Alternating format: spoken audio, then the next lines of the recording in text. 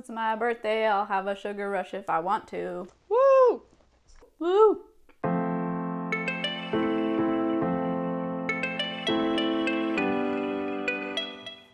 What's up, guys? It's Kat and Dev from Two Market Girls. Welcome back to another vegan recipe.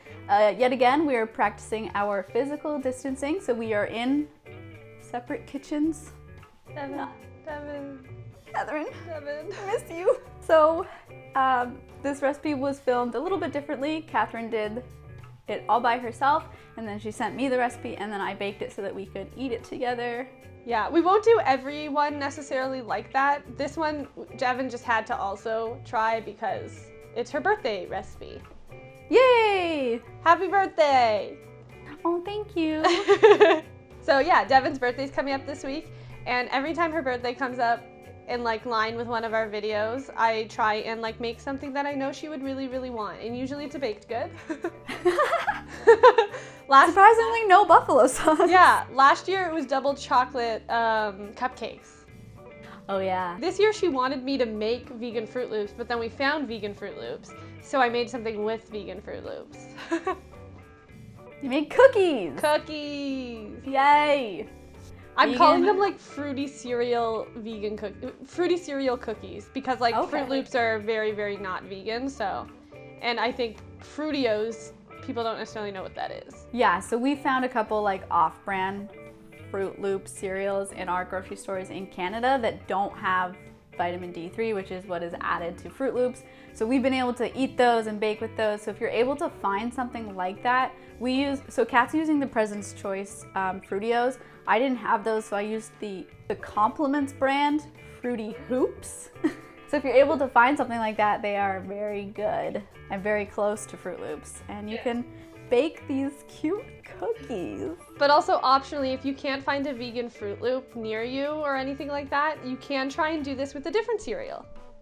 You know, maybe you like I don't know, what's another cereal?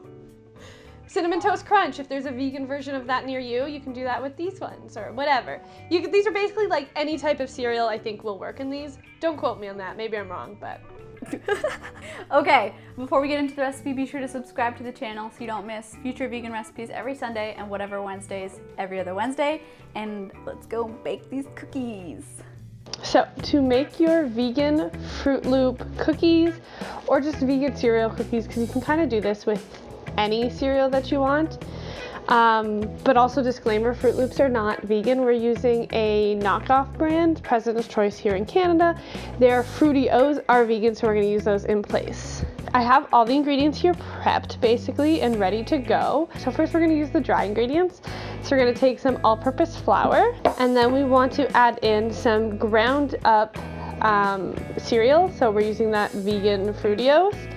So we're gonna add this into the flour. Gonna stir it up. And then we're also going to add in some baking soda and baking powder. All right, and then we can leave this to the side. We're going to use that in a little bit. So next up, we want to beat our wet ingredients. So together we're going to beat the sugar and the butter. So just using your stand mixer, going to add in the butter, uh, sugar, and brown sugar. Then we're just gonna give this a close, seal it, and beat it. So you're gonna wanna start it on low and then slowly bring it up to a higher speed as the sugar gets all combined. If you start it on a high speed right away, the sugar's just gonna come exploding out of this. Basically, we're gonna keep mixing this for about five or so minutes. We want it to be light and fluffy and creamy. Um, we basically don't want it to look really chunky anymore. We almost want it to be really smooth. Okay, so once the butter has been beaded in, we are basically going to slowly add in our two flax eggs that we made before we started all this. And we're just gonna kind of slowly drizzle it in.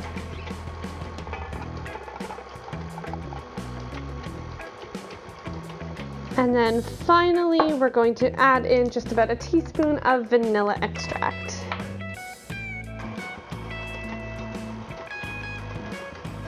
Alrighty, so once your wet ingredients are all kind of mixed together, we're going to slowly add in the dry ingredients that we mixed earlier. We're gonna put this on a low speed to start um, so that the flour doesn't kind of make a mess and go everywhere.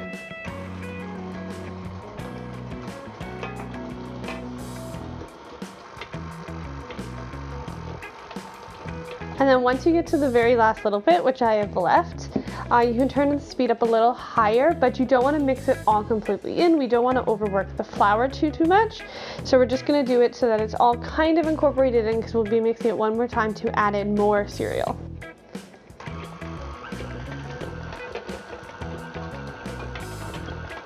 So we've got that all mixed in. I'll give show you it. So basically that's kind of what our dough looks like right now. That's kind of what our dough is looking like. Lastly, we're going to add in some more cereal.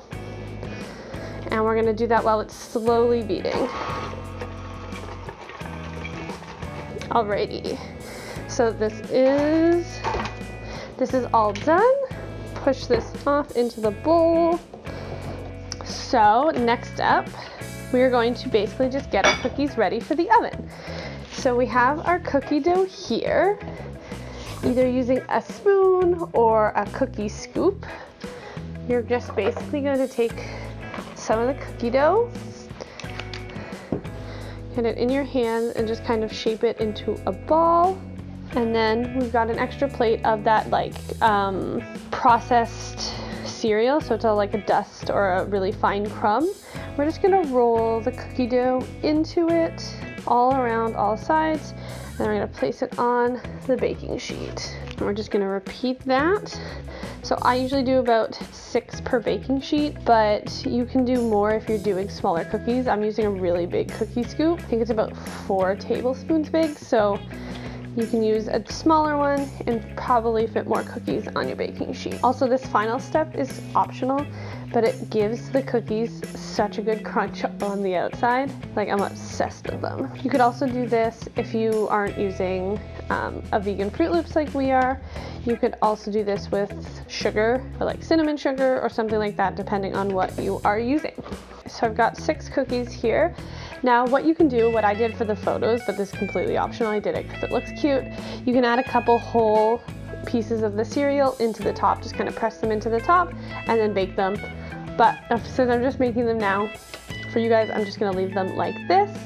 And we're gonna bake them in an oven that's been preheated to 350 degrees Fahrenheit, and we are going to bake them for about 13 minutes. I'm gonna take this to the oven now. Okay, so once the 13 minutes has passed and the cookies are out of the oven, you're gonna leave them on the baking tray for about five minutes to continue to cook a little bit on the baking tray and just kind of solidify that base. And then once the five minutes is up, you can transfer that to a wire rack and allow them to cool completely and then serve. Uh, I recommend dipping them in a glass of milk because cereal.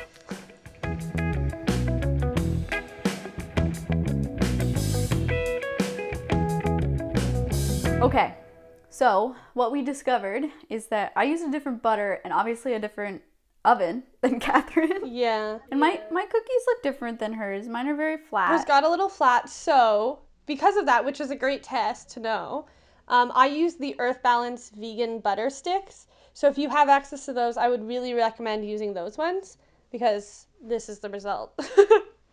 I mean, Devin's look really good too. They're just a thinner cookie, so they're probably crispier. Very crispy.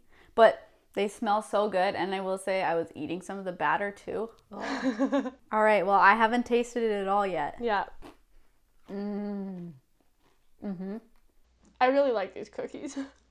They're like a really good sugary cookie, and then there's this nice fruity undertone. Mm-hmm. And when you get one of the chunks of the Fruitios, oh, it's so good. Mm-hmm. It's my birthday. I'll have a sugar rush if I want to. Woo! Woo! These are really good. Even though mine are like really thin, there's still like a chewiness to them. Oh, good. To get past the crispiness, and I'm into it. Okay, I'm glad. I know what we should talk about in the comments. Okay. What kind of cereal do you want to make cookies with?